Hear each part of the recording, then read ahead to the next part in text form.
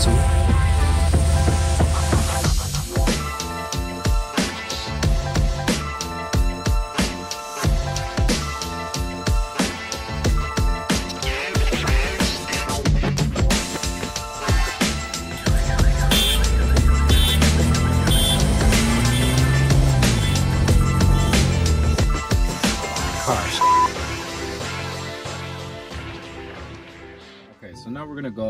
Get started with the radio removal and aftermarket radio install. However, prior to that process, there's a couple of things you want to do.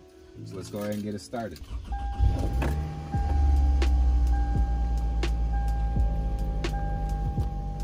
One of the first things you want to do is check and see if there's a CD in the radio, which in our case, yes, there is. Once we got that out, we're going to go ahead and put this test disc in and use our handy dandy polarity popper tool. So what this does is it gives us a, a pop and that pop is gonna move all the speakers in the vehicle one direction three times and then the opposite direction one time and that's gonna indicate on the positive and negative polarity. So that's gonna be track three. You have your pop, we have our tweeters in the dash, we have mids in the doors. So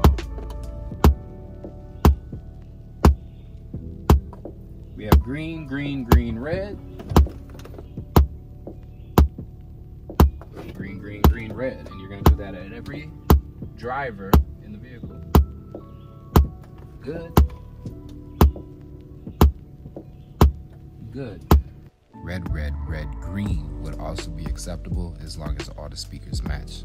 However, occasionally manufacturers may reverse the phase between the mids and the highs for better sound performance with the factory radio in which you will want to document that and install accordingly.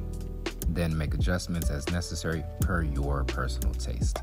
Once you have all the speakers checked for polarity, you can go ahead and document the different presets that are programmed for the radio. And when you put the new radio in the car, you can go ahead and program those those presets into the new radio. So you know you're doing this car for you. You know it doesn't matter as much, um, but you're doing the car for somebody else. It's just a nice touch for having that familiarity that they would have had on the old system, but then with the the new features of the new. So all that being said, let's go and get started with removing the bezels and radios. The best tool would be a nylon panel popper tool and you're gonna come in. I like to start at the corner. You basically slide it in and just start working it out. Now you wanna work your way around the perimeter and that's gonna ensure that if there's clips all the way around that you pop them out slowly. You know, if you start at one side and another, you can break a clip, you can break the panel itself. This car in particular has two on each side of the corners, nothing in the middle, so we're not gonna worry about working around the perimeter. We're just gonna go ahead and pop those two corners and now you can see it's free. Once we got that out, we can go ahead and remove the wire harnesses for the climate control.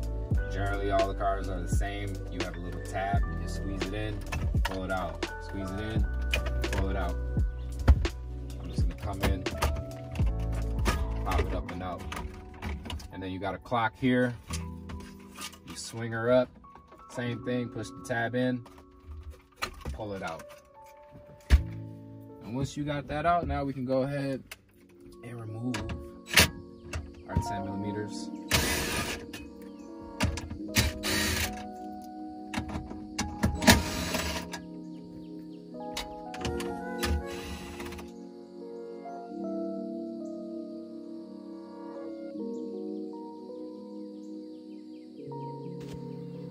Once the radio is out, you can go ahead and remove the brackets off of the OEM radio to transfer over to the aftermarket, which you see here. At this point, we begin to mock up all of our pieces. You can see on the side of the radio, we have a series of holes, both that are punched out and some that are threaded. Some are marked T, some are marked N. T for Toyota, N for Nissan. Those are going to be threaded to use the factory hardware that came on the OEM radio.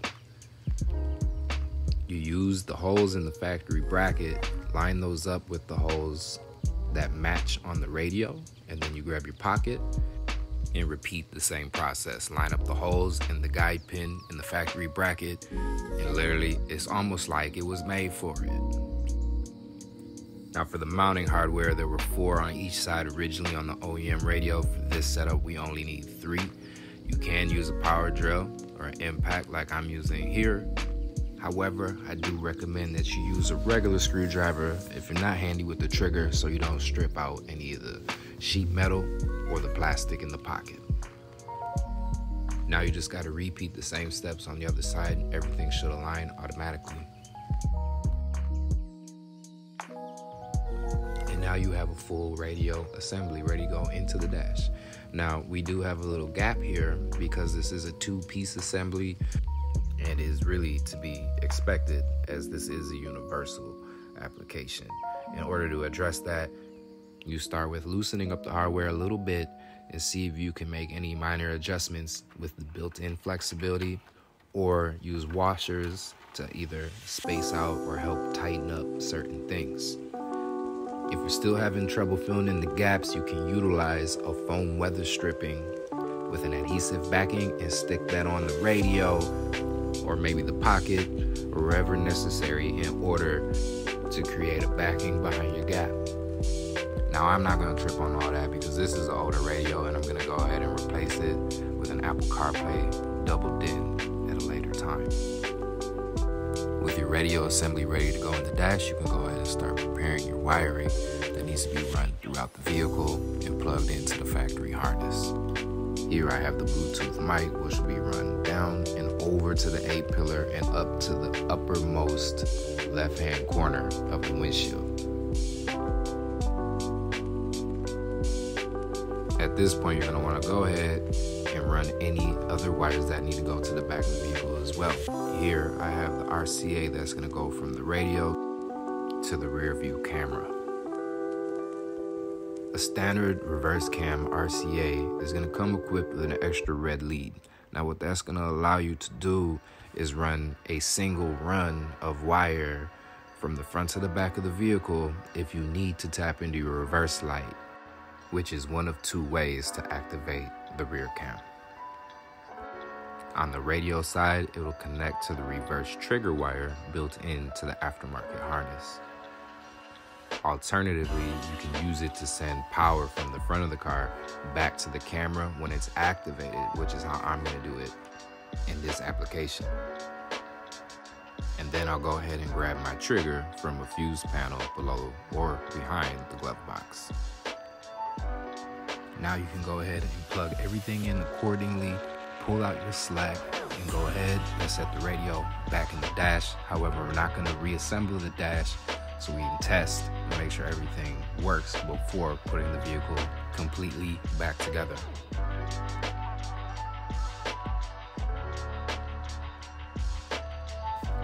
Both the Bluetooth mic wire and the RCA come out at where the knee bolster and center console meet and then I ran them across and affixed them to an existing wire harness with zip ties and trimmed them with a flush trim cutter to prepare them to run down the driver's side of the vehicle under all of these panels.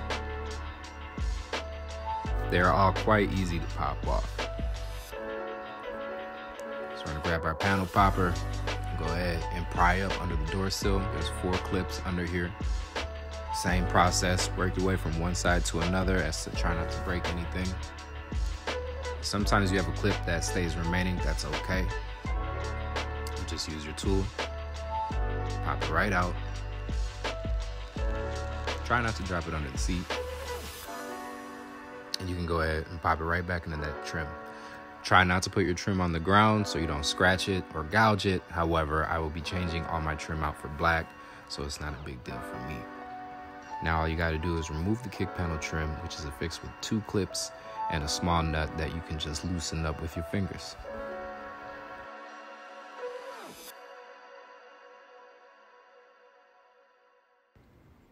You can either use your panel popper or just do it by hand, pop it right out.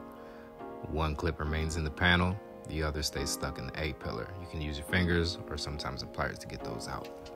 This one gave me a lot of trouble.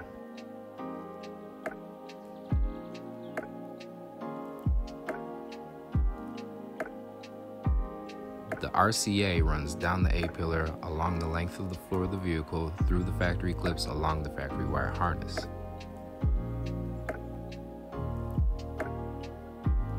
However, like I said, the Bluetooth mic needs to run up to the top. So what we're gonna do is peel the weather strip up and you can see that gives us a nice little gap to run up. All you gotta do is remove that little 10 millimeter. You can slip the wire behind it up along the side of the dashboard behind the A pillar, which pops right off. This is an older vehicle. The newer vehicles generally do have an airbag behind it, and that's a little more complicated to remove. But this one pops out quite easily just by hand. And you can see those clips stayed stuck in the sheet metal again. But anyway, just pull it up and out, and it's all good to go.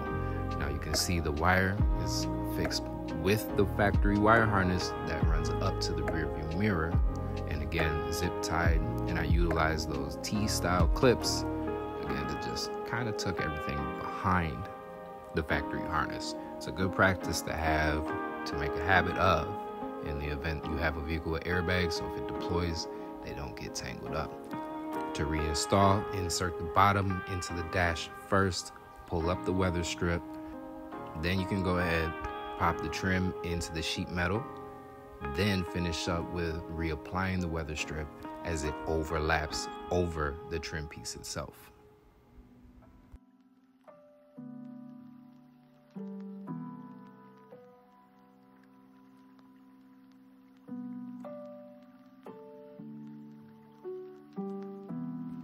As for the kick panel trim, it's the opposite. It goes over the weather strip. So I actually go ahead and try to line everything up first because I have a line of sight when the weather strip is off. And once I have an idea of where it's gonna fit, I put the weather strip back on and go ahead and just pop it right in place. Do not force it, it should pop in quite easily. Same thing for the sill trim, goes right on top of the weather strip, pops right in place. Continue running the wire towards the rear of the car. The rear door sill trim comes off just like in the front. You run the wire down that harness. You can run it up under the seat cushion, come into the trunk, flip the carpet up, pull this foam insert out, and you can reach your hand down below and fish yourself the wires and pull them through into the trunk area. Once everything's through, go ahead and tuck the foam down and lay the carpet right back over the top. Now we can go ahead and run this wire bundle over to the deck lid. Now we're gonna go ahead and start stripping down all the fabric in the trunk. In order to get the deck lid trim off, you can use a panel popper and a screwdriver to spin out these screw style push clips. So put a little tension behind the screw with the popper and then you take your impact or your screwdriver and just spin the plastic screw and they'll pop right out go ahead and proceed around the perimeter of the deck lid. And if you do break a couple, it is to be expected. These are old and they do get quite brittle. Placements are sourced very easily from Amazon, AutoZone, Pep Boys, etc. Next, we'll go ahead and remove the inner quarter panel trim. We'll start by removing the rear cargo net and tossing that aside.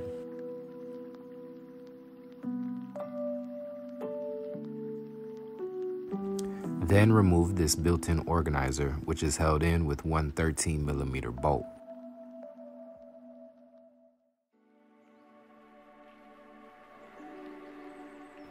Now go ahead and grab a panel popper to remove these two Christmas tree style clips that secure the entire assembly.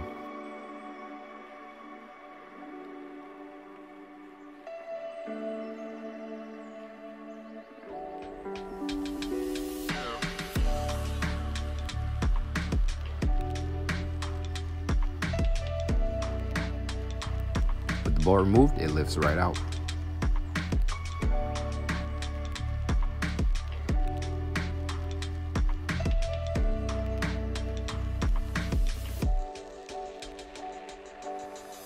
Now we just have to remove the rear body panel trim which lifts and pops right off by hand, although you can utilize your panel popper pry tool here as well.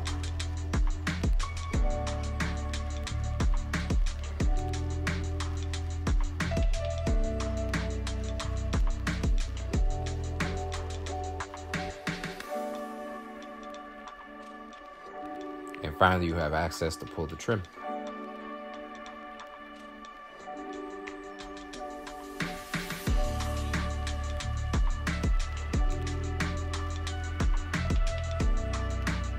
To proceed with running the harness, I'm going to run along that lower left-hand corner where the floor pan meets the inner quarter structure, up the strut tower, and over to the deck lid hinge. And I'm going to utilize the factory harness clips to run the harness up to the inner deck lid where it'll meet up with the rear camera pigtail.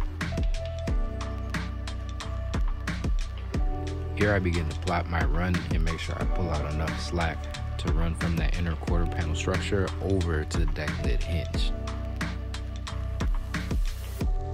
I take into account the shape of the hinge, the range of motion, and where things may come into contact between the hinge and that inner quarter structure.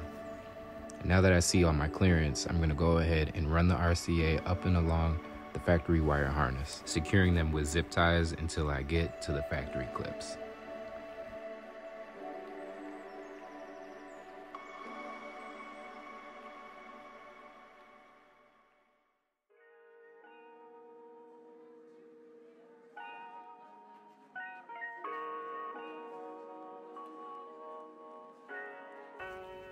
Open the factory wire retainers, use a pick tool or a flathead screwdriver. Just simply stick it in the slot, give it a twist, and it'll open right up.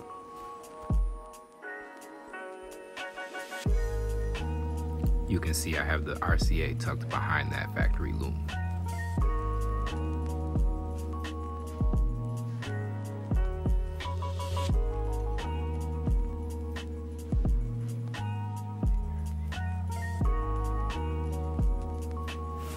Proceed running the RCA along the factory wire harness to this large open area on the back of the deck lid where I'll bundle up the slack, create a ground, and establish all my connection points between the RCA and the camera pigtail.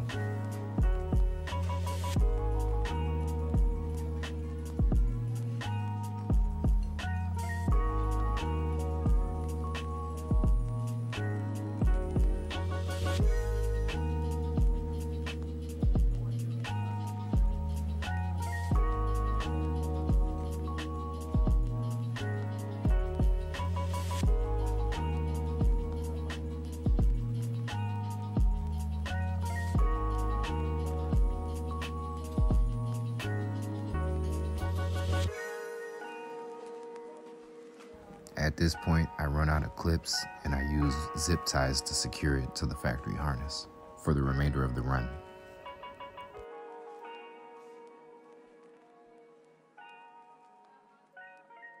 Electrical tape would make a great alternative if you don't have zip ties.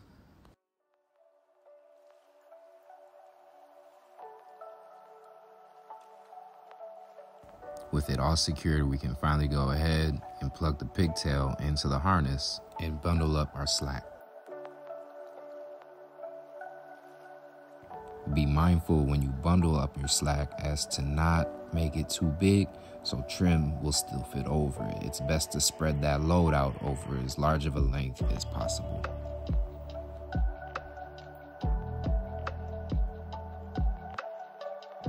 With the connection made here in the deck lid and everything bundled up, if the camera ever needs to be replaced, you will only have to remove one piece of trim going forward. It's always a great practice to install with a mindset for ease of serviceability in the case that something does go wrong.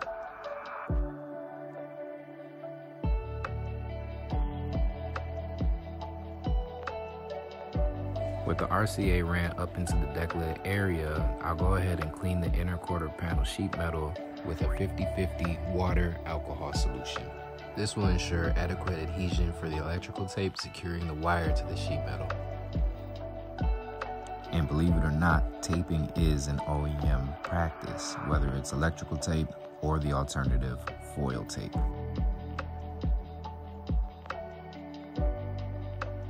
It's a great little trick to use in areas where you'll have low moisture, low heat, and no movement.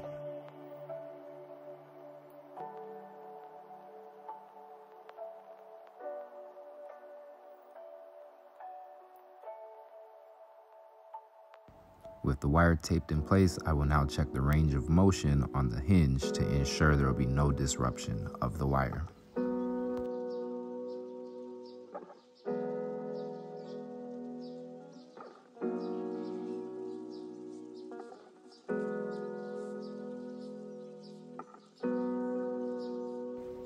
Next, I'll remove the trim piece that I'm going to mount the camera in. It's held on with four 10 millimeter nuts and two plastic clips.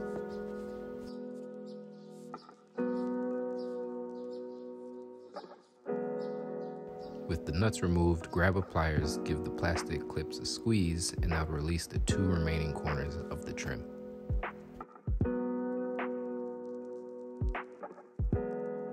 Now you can go ahead and pop it out.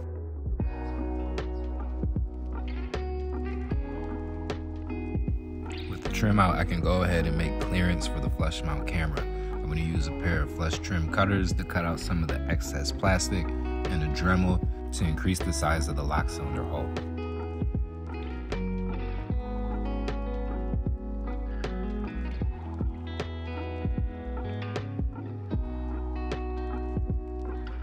Remember to only remove a little bit of material at a time because obviously you cannot add material back in once you've gone too far.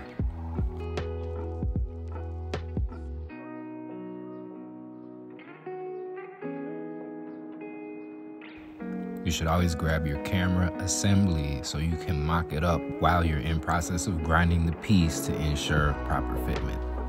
This ring is the piece that we are going to fit into the trim. With the hole board out, now you can go ahead and pop in your retainer.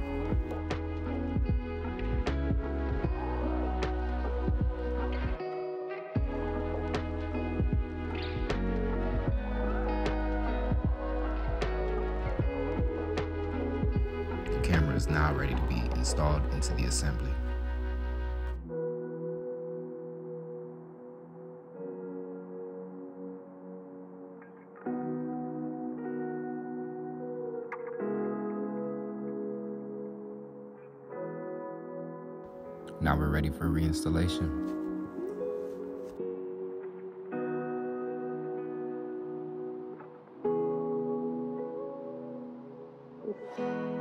In order to pull this off, the lock cylinder will need to be deleted. You'll still have two ways to access the trunk, one via the remote and the other the lever by the driver's seat.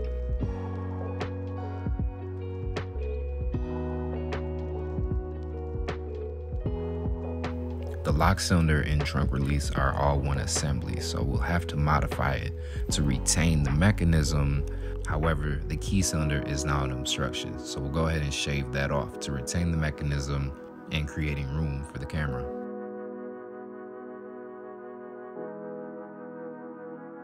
Always be sure to use the proper PPE when using a cutoff wheel.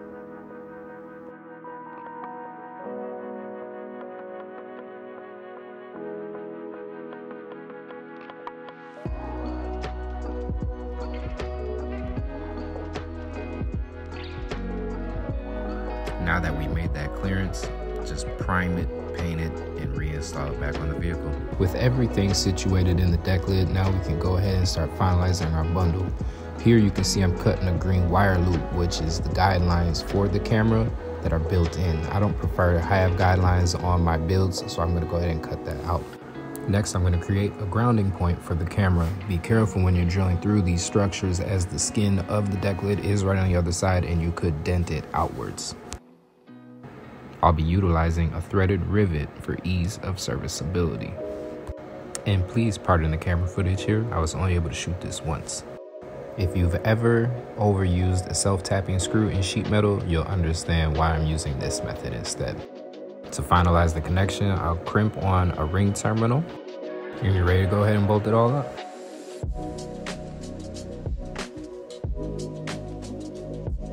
Now with a little editing magic, let's go ahead and transition into a better picture. And here's the finished product for the wire harness. So we're zip tied all along the way. And um, camera goes up in here. Hard to see behind this lock cylinder. And what I did was I just spread this harness out along the factory one to kind of spread out the load, if you will, so that way it doesn't get all bulky under the trunk liner. So we're gonna go ahead, put the last couple fasteners on. Make sure everything's tightened up, but all the testing has been done, everything works perfect.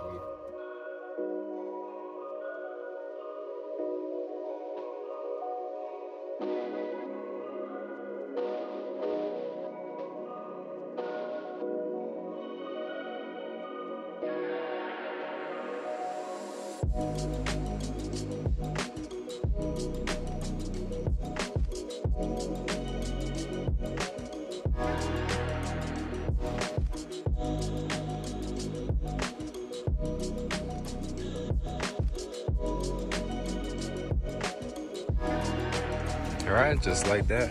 It's all back together. Only three clips were harmed in the making of this camera install. Yeah, we just gotta vacuum it out. But yo, looks good.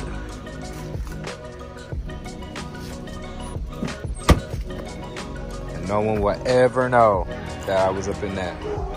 Only indication camera itself. Try panel popper? Nope.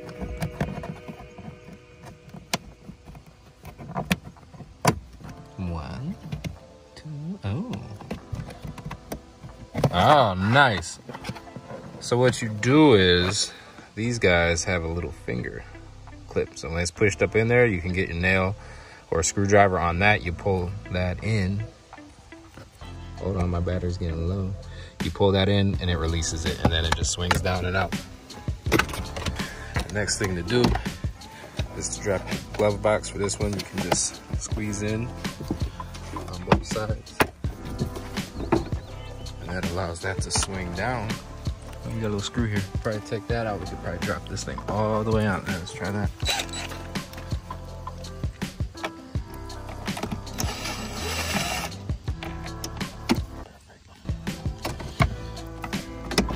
Yeah. Oh, look, the whole thing comes out. All right. You know, and let's just, you know, a lot of times it's good practice to put the screw back in the hole you found it in so you don't lose it. I'm trying to adopt that mindset. So yeah, now that we're in here, it should literally be this, this guy right here.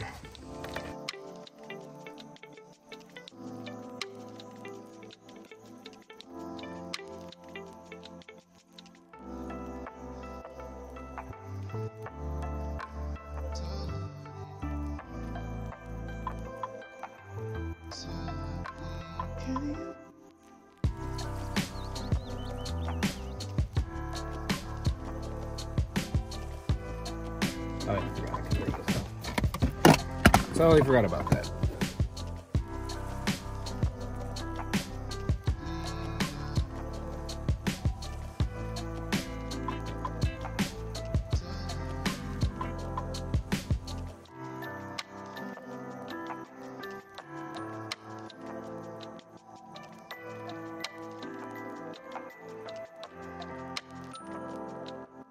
When the test lead is connected to the appropriate wire, when you put the vehicle in reverse, you'll see a voltage reading anywhere from about 12 volts to 14.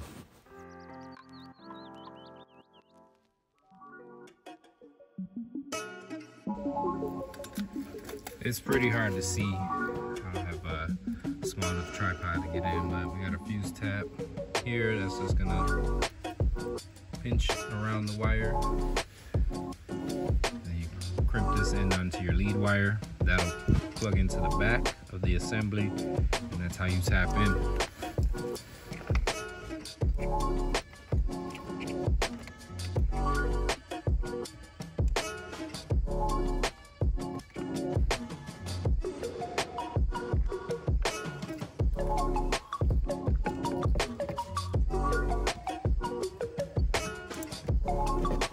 With the splitter in place, now you can run a wire right up to the reverse trigger on the back of your radio.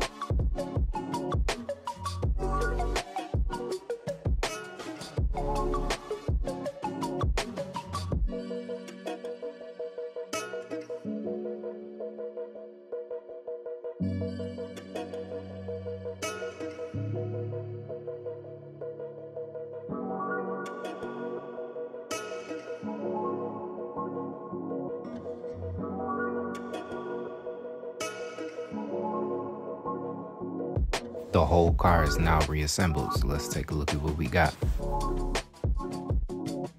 Works just like OEM, but only in a vehicle that was never equipped with such features.